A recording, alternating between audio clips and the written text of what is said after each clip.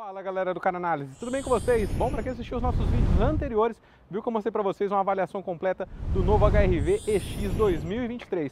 E agora chegou a hora de trazer para vocês a avaliação completa e detalhada do novo HRV EXL 2023. Então a gente vai mostrar aqui todos os detalhes, vamos falar de preços, as tecnologias e também o que, ele se diferencia em relação à versão EX, visto que essa aqui é a topo de linha do modelo 100% aspirado. Se você gostar do meu vídeo, eu peço que você deixe seu like e se inscreva no canal se você ainda não é inscrito, ative o sininho e bora para mais esse vídeo. Roda a vinheta.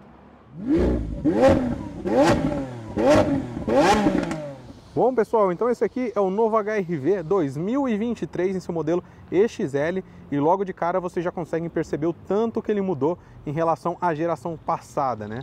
Temos uma nova frente, nova lateral, novo interior, nova lista de equipamentos. O carro ficou muito, muito bonito. Eu particularmente gostei do desenho, não sei vocês, deixem aí nos comentários também. E começando a nossa avaliação aqui pela frente. A gente já gravou aqui a versão EX também, para quem quiser conhecer, vai ter um card ao final. É a versão de entrada e logo a gente vai trazer também o test drive para vocês com as impressões. Começando assim, falando sobre uma diferença em relação a EX que a gente mostrou aqui no canal. Nessa unidade a gente vai ter o farol de neblina aqui embaixo, ele fica bem escondidinho, né? O farol de neblina em LED também. Não sei a capacidade de iluminação dele, porque a gente não testou à noite, mas fiquei curioso para saber, viu? Bom, vamos de frente é isso que a gente vai ter de diferença, tá? Vamos começar mostrando aqui os faróis. Os faróis são em full LED, temos luz de condução diurna em LED também e o pisca fica nessa região. Depois eu vou mostrar aceso lá no escuro para vocês verem também. Para-choque bem bonito, com essa grade em colmeia aqui na parte inferior. Na parte superior a grade já é um pouquinho diferente, tem o símbolo da Honda também. Aqui contamos com o porta-placas. Ficou com a frente muito imponente esse carro. E aí, Curtiram? Ó, capô também com uns vincos bacanas. Ali a gente tem o sistema do Honda Sense, né, as câmeras ali. Depois a gente vai falar sobre o que compõe o Honda Sense, mas esse carro tem muita segurança também. Vindo aqui para a lateral dele, a gente tem essa protetorzinho aqui, tem esse detalhe em plástico que percorre o veículo todo até lá atrás. As rodas aqui são aro 17 com pneus 215 60 freio a disco nas quatro rodas, temos também uma boa altura em relação à caixa de roda, uma boa altura em relação ao solo. Tivemos mudanças também, ele ficou um pouquinho mais baixo do que a geração passada, 20 milímetros e também um pouco mais largo e comprido. vou deixar para vocês as especificações aí na tela também. Vindo aqui para o retrovisor, contamos com retrovisor com seta integrada e também rebatimento e retrovisores na cor do veículo. Aqui, maçaneta também é na cor do veículo, né? Essa maçaneta, essa outra característica que fica aqui no mesmo lugar ainda, né? A outra maçaneta traseira. Temos também uma grande diferença aqui na parte dos vidros, né? Olha como que mudou, ficou bem menorzinho os vidros. Curti bastante, ó, ela de lado aqui. Lembra um pouquinho aquelas Porsches, né? Cayenne. Muito legal. Aí, parte superior dele aqui, antena do tipo tubarão também, antena Shark. Aqui a gente vai ter o aerofólio dele, com o brake light aqui nessa região. Limpador traseiro. Aí, vindo aqui para a traseira, a gente também tem uma grande diferença, né? além de todo o resto do veículo, que é essa lanterna dele. Olha que lanterna bacana. Ela vem até a essa, até essa outra ponta aqui e é em LED, tá? Ela acende inteirinha aqui, fica muito bonito. Já já eu mostro aceso para vocês. Porém, a gente tem o pisca incandescente e a iluminação de ré halógena. Temos a escrita HRV. Na versão XL ele já ganha sensores de estacionamento traseiro que não estavam presentes na EX. Aqui vamos ter também a câmera de ré, caimento coupé, muito bacana. Agora, o que, que a gente vai fazer? Primeiro, deixa eu mostrar esse detalhe no retrovisor do passageiro. E aí aqui a gente tem a câmera do Lane Watch, que é como se fosse um sensor de ponto cego, tá? É uma câmera que quando você bate a seta ou aciona lá na chave de seta ele, você consegue ver lá na central multimídia a imagem dessa câmera que vai mostrar o ponto cego do veículo. Muito bacana também. Agora, vamos mostrar para vocês o sistema de iluminação dele. Vamos lá. Então aqui a gente tem o sistema de luz de condução diurna em LED, muito bonito, diga-se de passagem. E aqui a gente tem um sistema de iluminação totalmente aceso e como eu disse para vocês, em full LED aqui. Aqui como vocês podem observar também, a gente tem um corte no farol, é a região do farol alto, tá? Então quando a gente aciona o farol alto, ele fica aceso. Vou mostrar para vocês. Aí, ó, com o farol alto acionado, ele fica dessa maneira aqui. Eu acho que ele poderia ficar assim direto, hein? E vocês, deixem aí nos comentários. E antes que eu esqueça de mostrar para vocês também, aqui a gente tem o farol de neblina em LED na parte inferior também. Sistema de pisca lateral. E aqui a gente tem o sistema de iluminação traseiro com lanternas em LED, pisca incandescente e lâmpada de ré halógena. E olha que bonito que fica quando ele fica aceso, né? Traseira ficou muito show. O que vocês acharam? Deixem aí nos comentários. A iluminação da placa de licença também é por LED. Bom, aqui na versão XL a gente já conta com uma chave do tipo presencial e aqui 100% presencial. Para quem não entendeu o que eu estou dizendo, assista o vídeo da EX, que lá vocês vão ver que é a mesma chave, mas lá não é 100% presencial. Temos o símbolo da Honda aqui, com os detalhes em preto brilhante, travamento e destravamento do veículo e também a abertura do porta-malas. Detalhes em cromado aqui, vou trancar ele aqui para vocês verem, ó, ali recolhe os retrovisores. E aí para fazer a abertura, só você colocar a mão aqui na maçaneta, ele já libera. Se você quiser trancar, coloca aqui o dedo, contanto que a chave esteja por perto, obviamente, tá? E aí, vou mostrar o interior aqui. Esse aqui é o interior do HRV EXL 2023, contando com bancos em couro, que é outra coisa que ele ganha em relação a EX, tá? E também temos ajuste aqui de altura, tudo manual, ajuste de distância, Vamos ter tapetes em carpete também, dois pedais, visto que se trata de um veículo automático, descansa-pé aqui também, abertura do capô nessa região e também abertura do bocal do combustível. Agora vamos entrar aqui para mostrar o restante para vocês. Vamos lá. Bom, agora sim, a bordo do HRV EXL, vamos começar aqui a avaliação interna dele. Mas primeiro, vamos encostar aqui o botão, né? apertou duas vezes, a chave estando aqui dentro ele já faz o acionamento dos instrumentos. Deixa eu baixar o ar, senão ele vai ligar no máximo. Vamos começar aqui mostrando o acabamento das portas. O acabamento aqui na parte superior é todo emborrachado, então soft touch aqui, de boa qualidade inclusive. Aqui já vamos ter um acabamento que lembra um plástico, porém um plástico com uma leve borracha, tá? Essa é a impressão que eu tenho aqui. Temos aqui também detalhe em prata, que percorre inclusive quase que o veículo todo esse detalhe, muito bonito inclusive sendo um dos diferenciais também na versão XL, porque a versão X já tem aqui em uma outra cor. Vindo para a maçaneta, contamos com uma maçaneta prata também, travamento da porta aqui. Descendo vamos ter os comandos elétricos do retrovisor e também a opção de rebatimento dos retrovisores. Você pode rebater eles automaticamente quando tranca o carro ou destranca ou por meio desse botão também, aí você escolhe. Destravamento e travamento do veículo, travamento do vidro traseiro e aqui vidros elétricos nos quatro vidros com função One Touch e iluminados também, muito bacana. Um descansa-braço em couro aqui também, o acabamento dessa região da porta já é plástico mesmo. Vamos ter aqui também um porta-objetos e porta-garrafas, além da saída de som ali.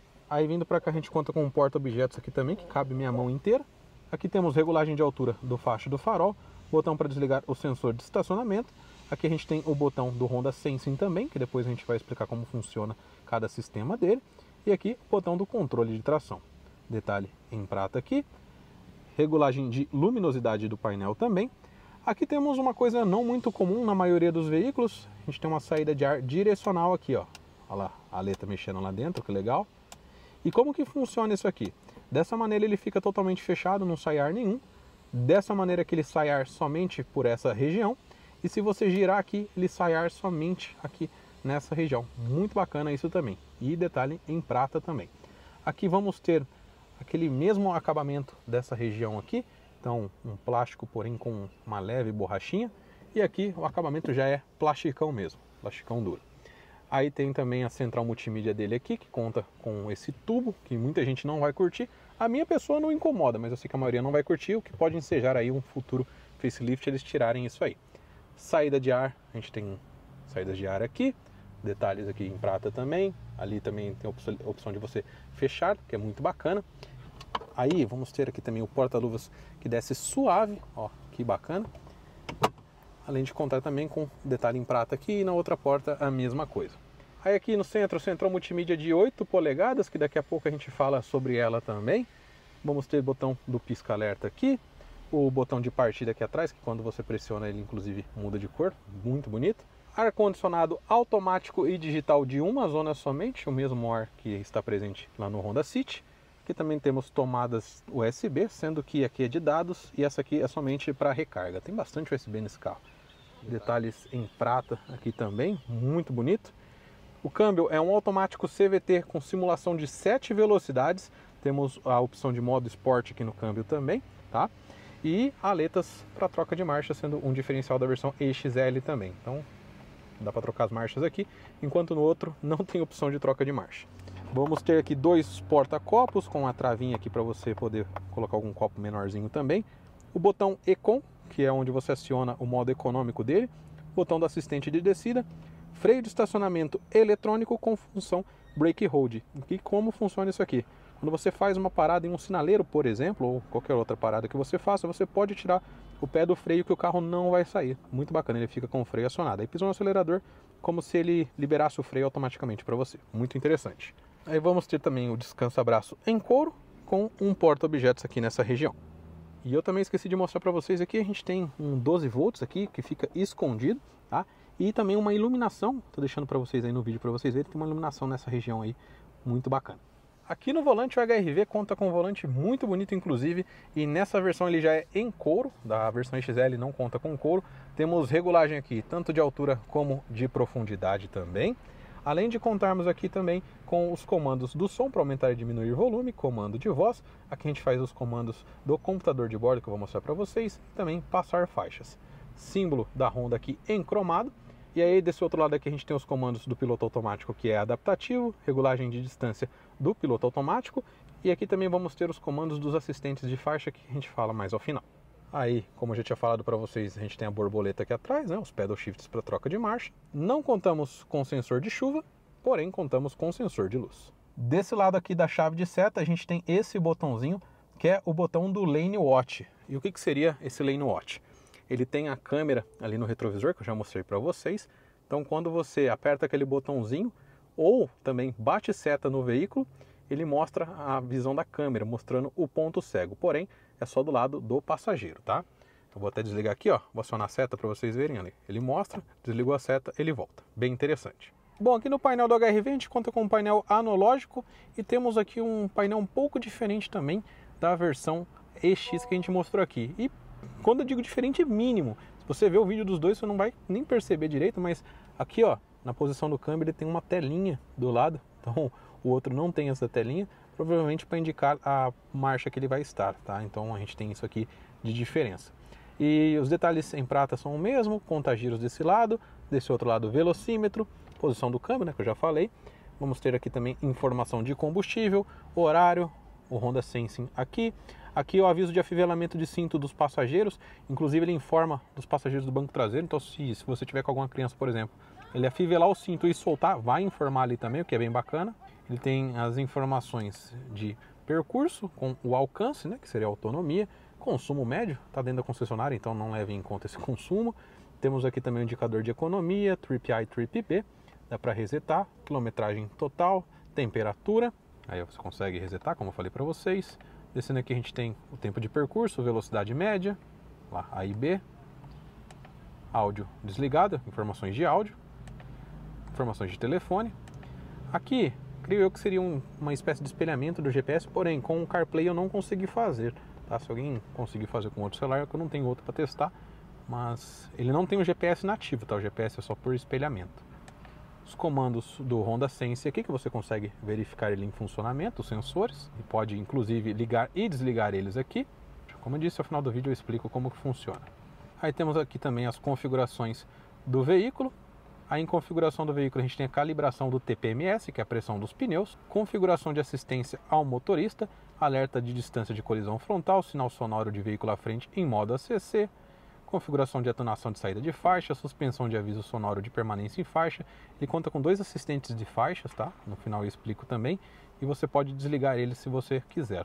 Aí vamos ter aqui também configuração do painel de instrumentos, selecionar idioma, ajustar mostrador de temperatura externa, zerar tempo de viagem A e B, ajustar volume do alarme, indicador de consumo de combustível, exibir curva a curva, que seria questão provavelmente de um GPS, que eu não consegui conectar aqui, e lembrete do banco traseiro para você não esquecer nada no banco, ele informa aqui no painel. Configuração do acesso keyless, modo de destravamento das portas, volume de alerta, localizar carro, alerta do acesso keyless, Aí vamos ter também configurações de iluminação, acendimento automático, timer de luz interior, timer de autodesligamento do farol, farol automático com limpador de para-brisa ligado, configurações de portas, travamento automático das portas, destravamento automático, modo de destravamento chave e remoto, travamento automático ao sair, alerta de travamento sem chave, controle remoto sem chave dos vidros elétricos, rebatimento automático dos retrovisores e voltar. Então tem muita configuração e também podemos reajustar aqui os padrões de fábrica. Aqui a gente também tem esse botão que seria o personalizar aqui e no personalizar a gente pode colocar o que quer que seja exibido. As informações aí você não precisa deixar menus desnecessários, digamos assim. E aqui você também pode desligar a tela e ver as informações aqui do veículo. E é isso que a gente vai ter nesse painel aqui. Bom, aqui no vídeo da central multimídia eu vou deixar para vocês a central multimídia da versão EX, que é a mesma que essa aqui, com as mesmas funções, inclusive, então vocês não vão perder nada, tá? A câmera de ré também é a mesma, então eu vou mostrar de lá para vocês, beleza? Essa aqui é a central multimídia do novo HRV, uma central multimídia de 8 polegadas, a mesma que equipa o Honda New City, que já tem avaliação de todas as versões no canal para vocês também, para quem quiser conferir. Temos Android Auto e Apple CarPlay sem fio, rádio AM, FM, USB e iPod e também áudio Bluetooth. É uma central multimídia aqui bem básica, tá? Ela tem as funções, digamos, necessárias, mas não temos comandos do veículo aqui, tá? E a central também ela é bem rápida, ó, bem responsiva ao toque, tá? Então só clicou aqui já vem comando na hora. Desse lado a gente tem o botão Home, botão de retorno, que é a luminosidade, que eu posso alterar ou deixar também off ali, posso desligar. E vamos ter idioma, português, espanhol e inglês. Configurações do Bluetooth, para você poder parear um. Lista de dispositivos, os aparelhos que estão pareados. Configurações de áudio com graves, agudos e volume sensível à velocidade. Então, de acordo com a velocidade do veículo, ele pode aumentar o volume para você, compensando o ruído. E uma coisa que eu tenho para dizer aqui que eu não gosto muito é o fato dele não ter configurações de médio, só temos do agudo. E temos a equalização aqui também, que você tem as pré-definições. Pode trocar também. Aqui a gente tem um ajuste de posição do som também. O som desse carro também ficou muito bacana. Eu vou ver se eu disponibilizo para vocês lá na nossa rede social também. Sigam a gente lá, a primeira que está aparecendo aí embaixo. Temos aqui também configurações de volume, configurações da tela para poder aumentar o brilho também, vamos colocar no máximo. Eu gosto sempre no máximo, que é o brilho. Configurações de relógio, Wi-Fi para você poder conectar, câmera de ré. A câmera de ré daqui a pouco eu mostro para vocês como que ela funciona. Tem linhas dinâmicas também, opção de linhas fixas, você pode programar aqui como que você quer. Configurações do Lane Watch, que é aquela setinha que você bate aqui, ó, ó e mostra a câmera de ponto cego ali. Informações do sistema, o RDS, licença de código aberto e redefinição de fábrica. Então, central multimídia aqui com o necessário, porém poderiam ter configurações do veículo aqui também, mas ela é uma central multimídia que acaba aí podendo equipar qualquer veículo Honda, digamos assim, né, que eles queiram colocar. E aí eu vou dar partida aqui para mostrar para vocês a câmera de ré também. Ó, isso aqui é a imagem da câmera de ré, então linhas dinâmicas, eu virei o volante aqui, ele mostra onde o carro vai entrar. Eu acho isso aqui bem útil. Que a gente também pode alterar a visão e ele continua no modo dinâmico. Somente essa visão que não vai ser dinâmica, né? Como se fosse uma vista meio que por cima. E a qualidade de imagem da câmera também é muito boa. Aí aqui na central multimídia, a única diferença que a gente vai ter em relação à versão EX é que aqui ele mostra o aviso dos sensores de estacionamento. A EX não conta, né? E aqui ele mostra, inclusive, ó, você vai aproximando, ele muda a cor para chamar a sua atenção também. Aqui na parte superior contamos com alças de teto para todos os ocupantes também. O parasol aqui conta com espelho e iluminação halógena, sendo que a iluminação também está presente a partir da versão EXL. Aqui para o passageiro também é a mesma coisa, ó, iluminação. E aqui no centro temos iluminação por LED no Paflon. Poderiam ter colocado LED em tudo, né? Mas colocaram só aqui. E aqui nessa versão também ganhamos o retrovisor eletrocrômico. Bom, vou mostrar para vocês aqui o espaço traseiro também, então a abertura ali naquela região. Aí vamos ter aqui apoio de cabeça e cinto de três pontos para todos os ocupantes, Isofix e Top Tether também. O cinto do passageiro do meio fica ali naquela região, você tem que pegar ele, e é de três pontos, tá? E vamos ter aqui também, ó, um descanso abraço, que também começa a vir na versão EXL, tá? EX não tem, com porta-copos também, muito bacana. Vindo aqui para a porta, o acabamento em relação à geração passada perdeu aquele couro, né? Então temos um acabamento em plástico. Aqui ele tem um plástico um pouquinho de borracha, parece, tá a impressão que a gente tem aqui. Maçaneta prata também, travamento da porta, porta-copos, vidro elétrico traseiro com função One Touch. Temos aqui também um descansa-braço em couro e a saída de som.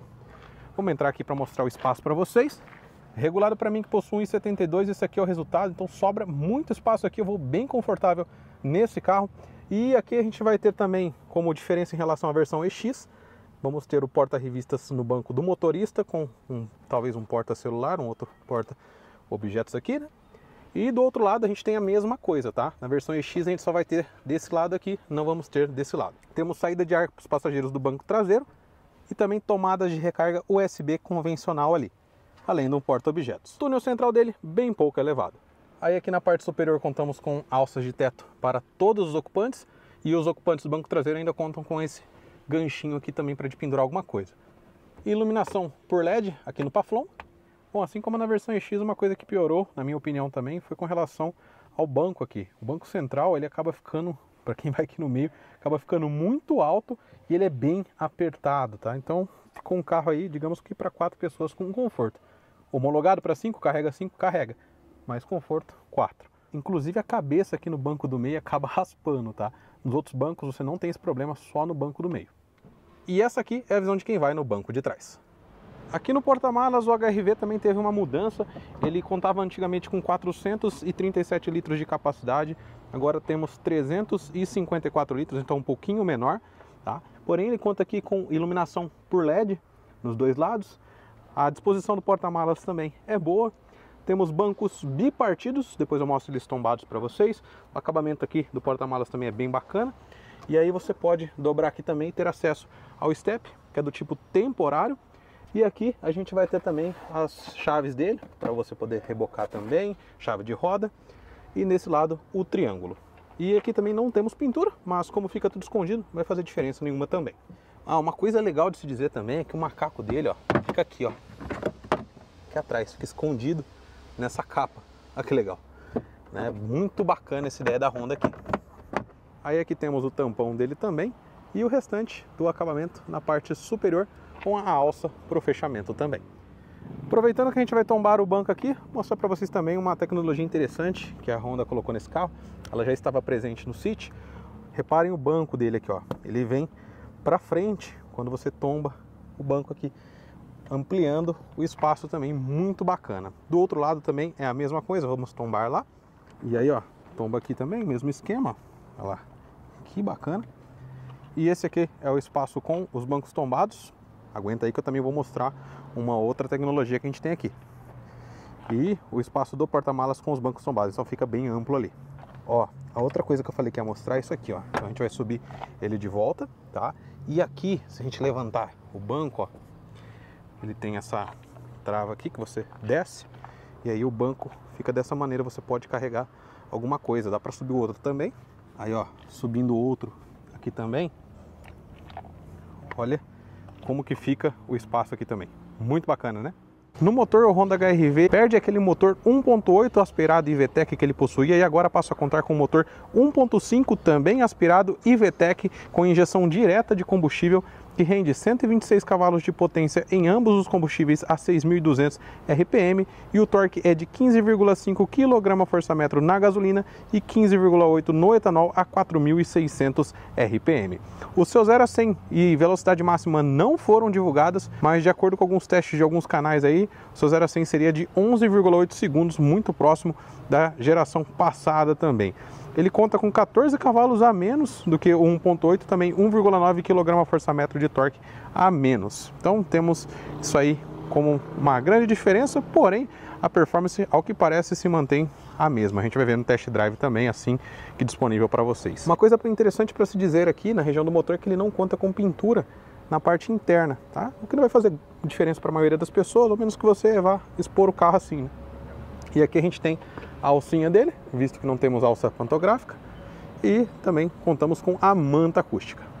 Aqui a gente tem as informações de consumo de acordo com o Imetro, então ele faz 12,7 km por litro na gasolina na cidade e 13,9 na estrada. O consumo também melhorou em relação à geração passada. Bom, como diferenças da versão EXL em relação à EX, além das coisas que eu já falei anteriormente aí durante todo o vídeo, a gente também vai ter aqui dois tweeters a mais, vamos ter também a alavanca de câmbio revestida em couro. Então se você assistiu o nosso vídeo até o final, você com certeza já sabe aí todas as diferenças e sabe qual escolher. Se você ficou na dúvida ainda, dê uma olhada no nosso vídeo da versão EX que vai ter um card ao final. Bom, eu particularmente gostei bastante do carro, gostei do seu novo desenho também, seu novo interior, o carro ficou bem mais bonito na minha opinião. Infelizmente ele acabou piorando na sua litragem de porta-malas, eu não entendi o porquê que a Honda fez isso, poderiam ter mantido o porta-malas, né, visto que o carro está até maior do que antes, porém reduziram ali, infelizmente. Outra coisa que a princípio eu também achei que piorou foi com relação à motorização, né? Que a gente tinha um motor 1.8 com 140 cavalos e agora tem esse 1.5 com 126 cavalos em injeção direta de combustível. Porém, Alguns canais que testaram viram que a diferença não é tão grande assim. Outros canais, entretanto, já tiveram diferenças maiores. Então, eu vou fazer o test drive ainda, vai ter um vídeo separado disso aí, e aí eu posso emitir uma opinião com relação a isso. Mas ele evoluiu em design, economia e segurança. Falando em segurança, temos seis airbags, sendo dois frontais, dois laterais e dois de cortina, freio a disco nas quatro rodas com ABS e EBD, controle de tração, controle de estabilidade, assistente de partida em rampa, assistente de descida e alerta de frenagem de emergência. Então, se você pisar com tudo no freio, dispara o pisca-alerta informando a outros motoristas que você está passando por uma situação de emergência.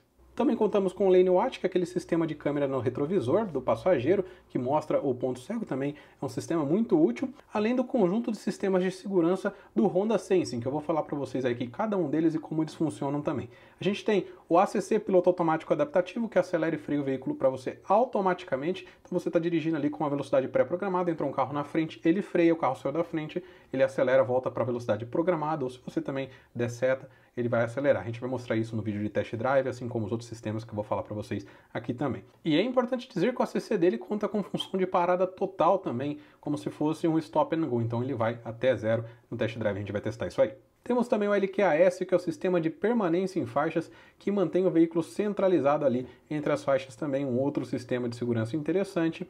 E também temos o RDM, que é o sistema para mitigação de evasão de pista, que quando você for sair da faixa ali, ele vai te puxar de volta também, auxiliando você. Temos também o CMBS, que é o sistema de frenagem para mitigação de colisão. Então, se ele verificar que está na iminência de uma colisão, ele vai disparar um aviso sonoro para você. E caso você não tome nenhuma atitude, ele vai armar os freios automaticamente para você, podendo evitar a colisão ou pelo menos reduzir os danos. E temos também o AHB, que é o ajuste automático de farol. Então ele funciona como um assistente de farol alto automático. Se ele verificar que não tem nenhum veículo à sua frente, ele arma o farol alto automático na estrada para você. Verificou que tem um veículo vindo na posição contrária ou à frente e vai ofuscar, ele corta o farol alto também automaticamente. Então ajuda você nesse quesito também. É um sistema muito interessante. O HRV XL é vendido a partir de R$ 149.900, podendo sofrer variação de preço de acordo com a cor que você escolhe. E pelo preço que ele custa, acho que ele ficou devendo motorização turbo em todas as versões e também sensor de estacionamento dianteiro. E aí, o que você achou do HRV? Deixe aí nos comentários. Lembrando que se vocês estão procurando o seu Honda 0km, entre em contato com o pessoal da Honda Lagosan. Vou deixar o telefone de contato deles na descrição. São parceiros do canal e permitiram que a gente gravasse. O meu muito obrigado a você que ficou até o final desse vídeo, a você que deixou seu like, se inscreveu no canal, a você que também compartilhou o vídeo e deixou um comentário. Dessa maneira você ajudou o nosso canal a crescer. Quanto mais o canal crescer, mais veículos eu consigo trazer para vocês aqui também. Um forte abraço, galera, e até o próximo vídeo.